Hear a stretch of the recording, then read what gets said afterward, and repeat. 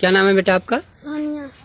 और पापा का क्या नाम है? भगवान प्रसाद। भगवान प्रसाद। तो विद्यालय से किस विद्यालय में पढ़ती हो तुम? सदी विद्यालय टंगना प्राथमिक विद्यालय टंगनाहा में पढ़ती हो। तो विद्यालय से क्यों वापस चली गई? सदी पढ़ रहे सदी तीन महीना से लगातार भगावत। थी के भगावत? सदी में कौन मैम? सदी जे सदी जब सदी जे हमारे क्लास में पढ़ावत थी कौन मैम पढ़ाती है? पूजा।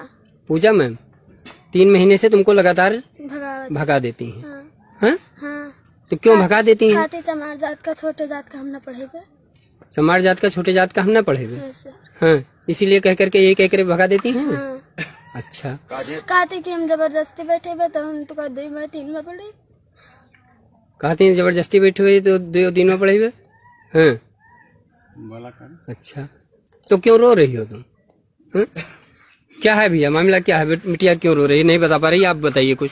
सर ये आप डरती है थोड़ा। लेकिन ये इसको मैंने मैडम जी से जो कहा कि आप बच्चा क्यों भगा दिया जाता है इसको बताया जाए समझाया जाए पंद्रह दिन पंद्रह दिन दस दिन इसको बताया जाए। हम्म, तो कहती हैं आपके बच्चे को हम पर्सनल नहीं बैठे हुए हैं। हम्म, छह घंटे मेरे होते हैं अट्ठारह घंटा आपके होते हैं। और ज़्यादा तीन पाँच करोगे तो सौ नंबर बुलाएँगे। आपको लगवा देंगे।